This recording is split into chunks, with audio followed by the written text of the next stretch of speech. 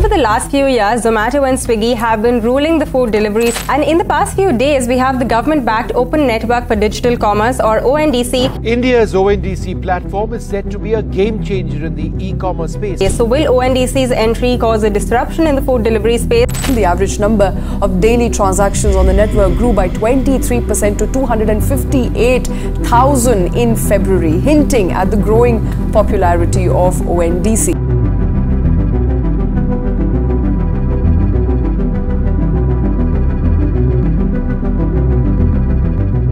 ONDC, who's going to explain it? Is it life changing for anybody trying to build a product in e commerce? What do you think will happen to ONDC going forward? I think you, especially more than all people. So, yeah, thanks, Nikhil. I can explain that. But before understanding what is ONDC, we should understand why ONDC. To understand ONDC, there are few problems for which ONDC is required and I will explain you with an recent incident happened with me. So recently I I wanted to buy a laptop. My older laptop stopped working. So I decided to go for a little more budget for an expensive laptop. Windows laptop which could be a predator laptop. Anyways I'm extending my budget then why not a MacBook Pro so the first step is to decide the ideal product which i have decided. Now the second step is to find the appropriate seller for the laptop.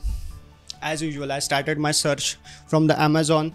I searched on amazon then i searched on the flipkart. I found nowhere the particular product that i wanted. Both of the sites had the same product stocked out. Then i extended my search to croma and reliance digital's website but also they have the latest model of the macbook. We all know that the apple products are very expensive and that's why i decided to buy a 3 year old macbook which i can get at a very hefty discount. So why not a older macbook? So i wasn't getting my desired product on any of these highly reputed website so i just google whatever the specification i wanted in the google search bar and google actually showed me all the nearby stores and sellers which are selling the exact same product. And there was one seller which was selling the same product at a hefty discount of rupees 1 lakh. After clicking i was bit surprised and as well as felt a little scammy because the website looked very old as per the ui and also the price was a bit scammy. But yet i called the seller and got the appropriate price. The prices were good then he sent me the location of his physical store. I visited the store and found out the store was so good that my trust was built on the seller. And then i purchased my product from them. So what i want to say that this all purchasing parody have five major issues. This e-commerce is facing these five issues so prominently that the ondc has to emerge as a technology in the country so out of these five problems the first and the most important problem is monopoly. I don't need to explain much on that because we all know that how amazon and flipkart are playing a monopoly role in the segment of e-commerce. Whatever you want to buy you just go to these particular sites you search. You search in such a way that you try to get a maximum discount as per the relative prices on their on these two three apps only. Plus the amazon is a us based company and the flipkart whose office is in Singapore and recently purchased by the Walmart. So basically it is no more an Indian company. So these companies aren't Indian. That is why Indian government pushes very hard rules on these companies and that's why these companies try to get profit from different ways. For example, you search something on Amazon and Flipkart and then they show results. So these results are not specific to the customer not ideal for the customer but those more are ideal to the sellers itself. That means the flipkart and amazon these companies are listing those products in the search bar such a way that the top listed products will give them the highest commission and the lowest listed sellers will give them the lowest commissions. And this is what the monopoly is because we don't have the competing prices. In my case, I searched through the local vendors and found out that the same product is discounted at 1 lakh rupees of price and that is why all of this grid has to come on a single platform which is ONDC. So wait, At this point, you must be wondering what is ONDC? Is it some kind of new app or new website, or is it uh, like other Flipkart, Amazon, or Zomato like kind of app? But no, it is not.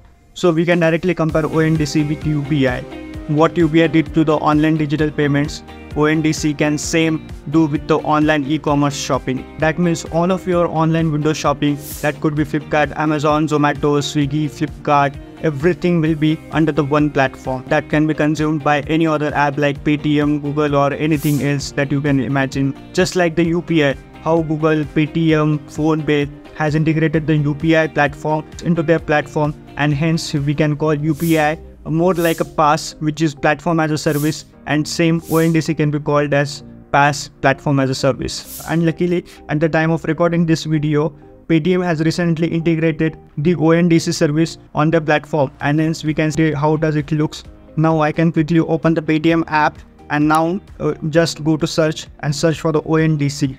So see we are getting all the services ONDC food, ONDC grocery and everything at this. Let's compare the prices because everyone is saying that ONDC will be much cheaper than the regular online apps that we are still currently using. So let's check I can see Burger King is open right now. So let's see compare uh, let's compare the prices on the Burger King. So I can I quickly clicked on the Burger King uh, restaurant from the ONDC through the Paytm app, and now let's see uh, chicken Whopper Junior double patty which which is listed at 129 rupees uh, on this app. Let's go to Swiggy. Let's open Burger King. Now the Burger King is open, and let's compare the particular chicken Whopper Junior. So see, Chicken Whopper Junior is listed at 189 rupees and on, on and the same item is listed at 129. So uh, let's compare to, uh, one or two more. So some uh, let's see Veg Whopper. Let's see Veg Whopper. So Veg Whopper double patty is listed at 229 on Swiggy and same is 129 on ONDC through the Paytm ONDC integration. So you can clearly see you can save hundreds and hundreds of rupees on this. This is just an example. I'm trying this at late night at 3 am in the morning. That's why I'm not able to show you many more options. But you, you got the idea, right? So the line uh, I said what UPI did to the online payments ONDC can do the same to the e-commerce market and e-commerce has 95% of potential left in the market and hence ONDC can be a very very futuristic technology that will originate from the India just like UPI did. So back to the remaining problems that I was explaining but now you got the idea of what ONDC is. Let's quickly see those remaining problems. Now the second problem is the inflated prices. So at this point even if you are getting a little bit of value then please consider liking this video because this is gonna help me a lot a lot. And also at this point i have just showed you how ondc is gonna save you a lot of money. So this point is already explained how ondc is going to save us a lot of money. So moving on to the third point on our list which is the logistic and supply chain for this i have one more incident which has happened recently. For one of my parcels i was trying to return this parcel from two weeks and delivery partner is scamming me with the random phone calls to reschedule my delivery and yet after rescheduling again and again they never came. But why this is a problem? So understand this the companies which we follow the e-commerce site same amazon flipkart etc companies these companies get commissions not only from the products that they are selling but also from the deliveries that they are making. Even though they have completely outsourced delivery through the different delivery partners but still they earn a hefty commissions on that.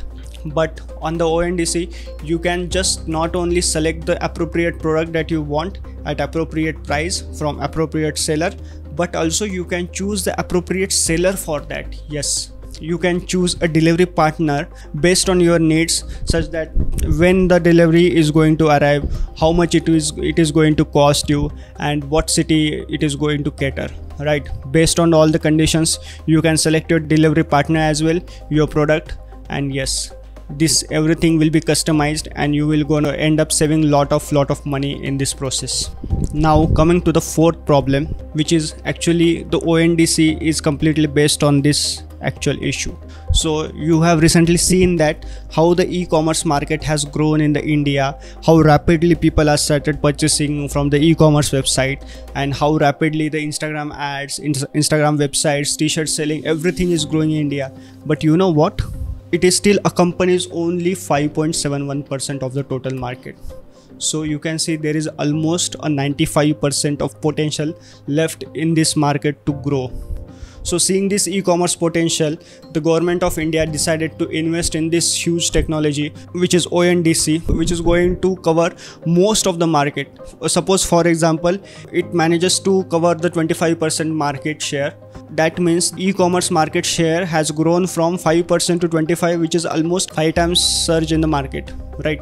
So the e-commerce has grown in the urban area as a rapid pace but the rural area has left behind. And these companies are not going to focus on rural area because these rural area areas are not going to serve them a well profit as compared to the investments and at least on the paper it is going to grow at a rapid pace. But yeah this is still on the paper so we are not sure how many companies are going to enroll and how many sellers are going to enroll on that and how many buyers are going to buy from this network. Now here comes the final problem which is the fifth problem the data privacy yes. Uh, initially i told you these are all american companies and uh, data privacy is becoming a very huge issue. So the government of india can't completely control the data privacies on these uh, from these companies. When they come to these network the overall traffic from their original websites and apps will start to reduce and people will start to search and use this ondc just like the upi i recently explained you. India is a growing nation and if we are positive about the india's growth then we should be positive about about the ONDC's success as well. And suppose ONDC started to grow, then more and more number of companies will start to enroll on that network, and more and more number of customers will start to get benefit from it.